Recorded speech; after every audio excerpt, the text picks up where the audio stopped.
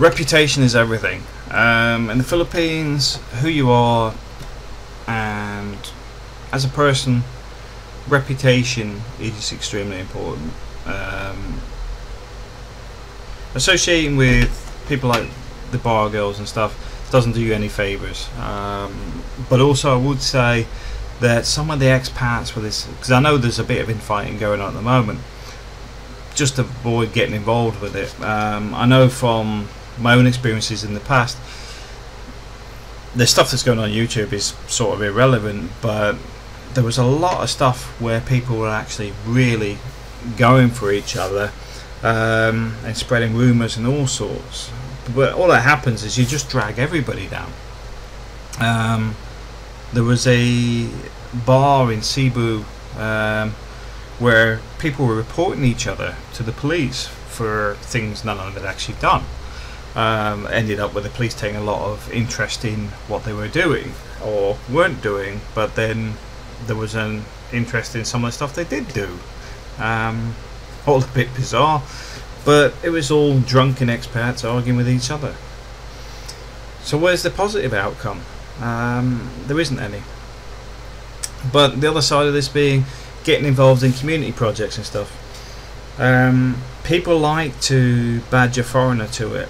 Be very weary of getting too involved in projects you don't know 100%. Um, I sponsor feeding programs and stuff when I, well, when I feel like it, um, but I don't advertise it. Um, I'm not photographed doing it, etc., because I know the people involved um, are trustworthy to a point, but I don't know them 100%. Um, and the last thing I need is somebody doing anything in my name without my consent.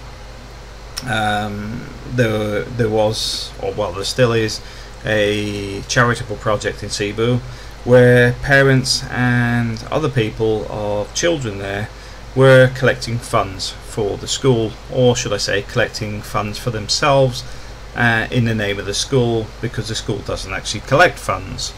Um, it doesn't have donations. It's not a donated project. It's done through tuition, etc. Um, so, with that, the guy that even owned the place was involved in something he hadn't even instigated. He wasn't even aware of it until somebody asked him about why they were collecting funds, etc. To turn around and say, "Well, hang on a minute we haven't asked for any money. And you will get people wander around the streets in Cebu and knock your door or whatever, uh, saying they're collecting for the church and stuff. They're not all collecting from the church. They're using the church's name to steal money. Um, I find it completely immoral and it's taking money away from people who actually need it. So just be aware because your reputation could be attached to something like that, or it could end up attached to something far more severe. Um, like, say you were friends with somebody that's involved with um, a larger project or a larger business that went bust, etc. Then you start getting all the phone calls and stuff because they've seen you in the photos, so you must know them because you're friends. Or you're you're at their Christmas uh, party or something stupid. Association is quite a risky thing. That's why you'll see a lot of the expats have been there a long time. Don't really do a lot online. They keep themselves to themselves. They're pretty invisible. Even on Facebook, a lot of them don't even have profile pictures. If they have them, they're pretty old ones because um, they do try to keep out the limelight. Um, just be aware of it. Personally, if you want to get involved in projects, get involved but don't run them. Don't get photographed as running them. Don't get uh, pushing something unless you're 100% sure it's above board. Um, a lot of the stuff that goes on, they don't even see as a problem either. Um, I've seen charity organisations where all the lunches, fuel, car, and everything are on the expenses of the charity, and when you look at it, there's hardly anything left for what they were actually doing. They're going up into the mountains to give donations away, but there's hardly any donations left because they've eaten it all.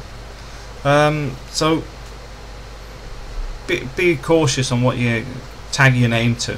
Um, for a long-term success in the Philippines, it's well worth being very weary of anybody that says going to get involved in this without actually knowing them too well, but also knowing how the funding operates, etc.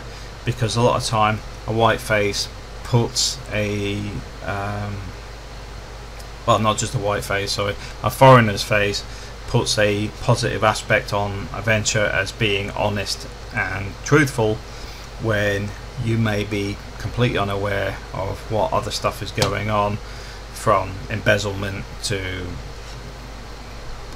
who knows what. Thanks for watching.